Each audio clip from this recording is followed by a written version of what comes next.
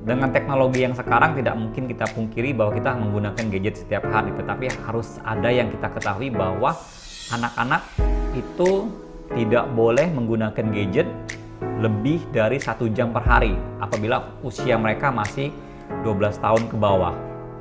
Nah, uh, dan itu pun penggunaan handphone dan tablet harus harus dikurangin dan dimonitor oleh kedua orang tuanya karena kita percaya dengan aktivitas jarak dekat terus-menerus ditambah dengan mungkin ada radiasi dari cahaya biru yang keluar dari monitor gadget akan mempengaruhi perkembangan atau tumbuh kembang dari retina. Retina adalah uh, bagian sensitif dari bola mata kita yang berpengaruh terhadap penglihatan jarak jauhnya.